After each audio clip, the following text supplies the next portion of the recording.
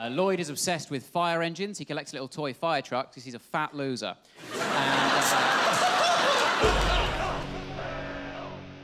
Hi guys. You Hello. just come up. How are you doing? Um, I am roasting, literally. he sweats a lot. So hot. Yeah, I felt like you were sweating before you walked on though. Yeah, no, I was sweating before, during, and then like Yeah. now. It's just I just sweat. It's a fitness issue, I think. It's a- Yeah, it's not actually related No. to what happened. Burnt so many calories on the roast. That's great. You can have another pie. yeah.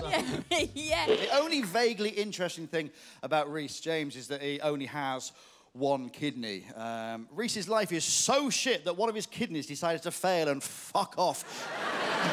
I had a pie on the way here. I mean, of course, I had a pie on the way here. Uh, and even that had more kidney in it than him. Um, What hurt the most? the dad thing, because I Yeah. wasn't expecting it, and then uh, it, it put me off like a little bit of a.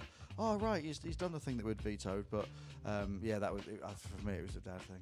And your friends in real life, so that act must have really hurt extra. Oh, we.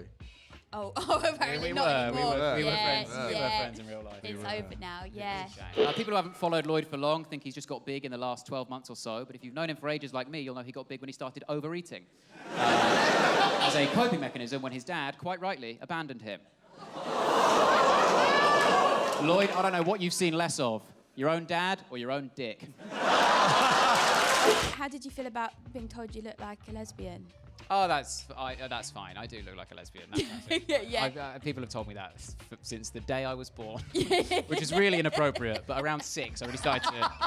You might recognise uh, Rhys James from Mock the Week. Uh, two years he's been doing it, and the only reason he still gets booked is because the producers genuinely think he's a lesbian. Thank you so much, guys. What are you going to do now? I'm gonna go upstairs and have a beer, and And I'm weirdly, I'm going to have a pie. Weird, isn't it? yeah.